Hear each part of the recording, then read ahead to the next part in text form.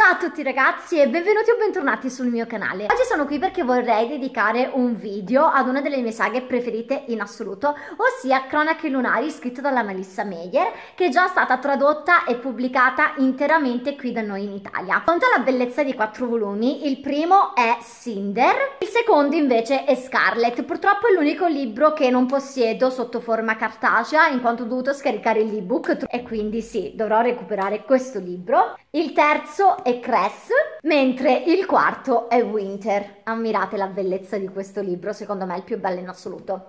Allora, di cosa parla Cronache Lunari? Cronache Lunari, come potete già aver comunque capito facilmente dal titolo di ognuno di questi libri, non è altro che una sorta di retelling, di rivisitazione di quelle che sono quattro delle fiabe più conosciute e più amate, ossia il primo è Cinder che trae ispirazione per l'appunto dalla favola di Cenerentola, il secondo è Scarlet che trae per l'appunto ispirazione da quella che è la storia di Cappuccetto Rosso e sentite sentite del lupo, il terzo libro ossia Emilia Cress è ispirata alla storia di Rapelonzolo ed il quarto, infine, Winter, che è ispirata per l'appunto alla storia di Biancaneve. La storia delle cronache lunari ha inizio per l'appunto con Cinder, il primo libro dove Cinder non è altro che la nostra protagonista. Diciamo una cenerentola alquanto moderna, infatti lei vive sì con la matrigna e le sorellastre, però diciamo che non viene vista di buon occhio né da loro, ma neanche da tutta quella che è la popolazione della nuova Pechino, in quanto Cinder è molto particolare, non solo è una ragazza e fa il meccanico, ma il dettaglio un po' scioccante che la riguarda è che lei in realtà è in parte un cyborg e quindi tutta la storia del primo libro ruota attorno a questa protagonista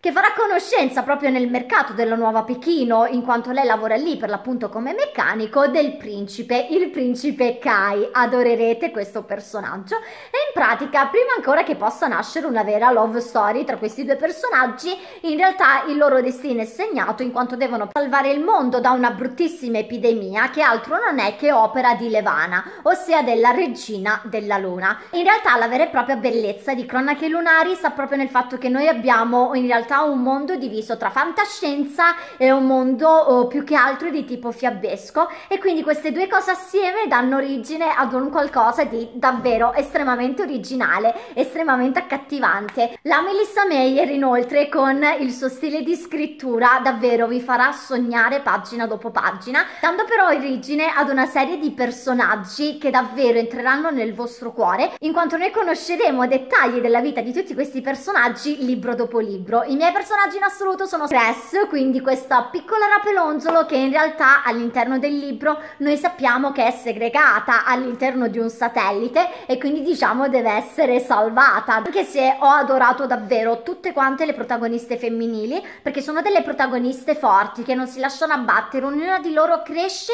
e cresce uh, cazzutissima con la voglia di uh, aiutare gli altri con una bontà estrema. Infatti di questa storia la cosa che io maggiormente ricordo perché purtroppo, e dico sì purtroppo, in quanto io l'ho finita di leggere quasi un anno fa e mi è rimasto proprio nel cuore la sensazione di benessere che provavo mentre la leggevo perché davvero tratta in maniera molto semplice tantissimi temi e la bontà di questi personaggi, il modo in cui eh, ragionano ti fanno capire le cose importanti della vita che è un pochino la filosofia per l'appunto delle fiabe e delle favole. Il personaggio di Thorfinn, capitano, e non sto qui a farvi spoiler, è davvero fantastico. Nel corso di queste storie adorerete tutte le love story che si vengono a creare. Io puntualmente ad ogni libro infatti scleravo per queste ship che si venivano a creare. Queste storie d'amore che in realtà non parlano solo d'amore, ma ripeto, toccano tantissimi temi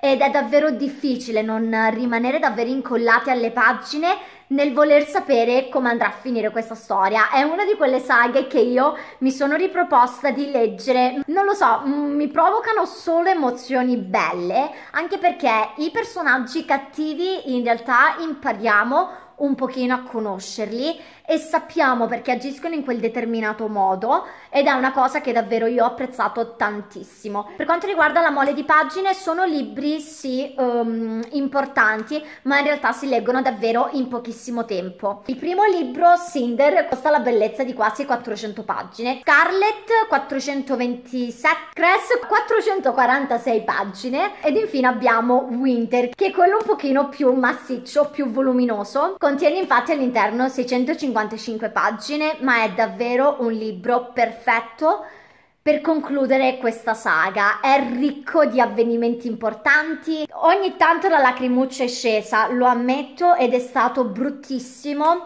chiudere il capitolo um, con questo libro perché non lo so, io avrei potuto continuare tranquillamente a leggere altri 4-5 libri. È uno stile, quello della Meyer, che davvero non annoia mai. Eh, rimanete talmente tanto catturati da questa storia che io per un mese avevo difficoltà ad iniziare una nuova saga. Mi ha lasciato un vuoto dentro pesante e quindi questo è tutto un dire. Inoltre una cosa che ci tenevo tantissimo a sottolineare è che all'interno di questi libri, essendo comunque tratti dalle fiabe e dalle favole, ci sono un sacco di passaggi molto romantici, giusto per farvi capire l'importanza che io ho dato a questa saga Uh, per chi ancora non lo sapesse, anche se oramai ne ho parlato più um, di una o due volte all'interno del mio canale, io a breve mi dovrò sposare e abbiamo deciso uh, proprio di trarre da questa saga una frase molto importante. E la frase non riguarda uh, la storia narrata all'interno delle cronache lunari, bensì è tratta per l'appunto da Winter, o meglio dalla dedica che la Marissa Meyer ha fatto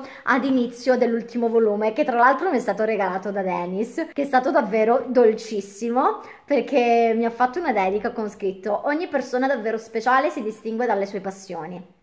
Spero che questo mio regalo possa aggiungere un rigo in più alle pagine del tuo cuore e vi posso garantire che Dennis non è molto romantico. Non gli ho chiesto se l'ha copiata da qualche parte, però ce la facciamo passare perché rende ancora più bello il libro. Ma la frase che noi abbiamo deciso di estrapolare da questo libro appartiene in realtà alla dedica eh, che per l'appunto la Melissa Meyer ha dedicato a Jessie, che io credo sia il marito, e trasforma ogni giorno nel lieto fine di una fiaba. Niente ragazzi, questa è la mia spudoratissima, super mega iper positiva recensione delle cronache lunari. Sono quattro libri, lo so, però davvero se non avete ancora letto niente delle cronache lunari, vi supplico, incominciate a farlo, leggete Cinder perché già a 100 pagine sarete totalmente innamorate di questo personaggio e di questa storia. Poi vi ripeto, di libro in libro la storia diventa sempre più accattivante e avvincente. Riguarda le fiabe e le favole e penso che ogni persona abbia bisogno di leggere nella vita dei libri così, libri che ti lasciano davvero il cuore ricco d'amore, ricco di positività, ricco di passione. E quindi niente ragazzi, io spero vivamente che questa mia recensione vi sia piaciuta.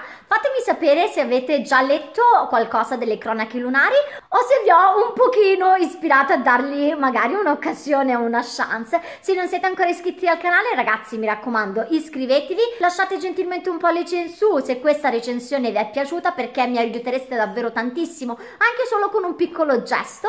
Io vi mando un grande bacio, vi lascio un buon fine settimana perché io sono le 5 e mezza del sabato e sono qui davanti alla telecamera a registrare. Vi mando un grande bacio e niente, ci vediamo al prossimo video. Ciao!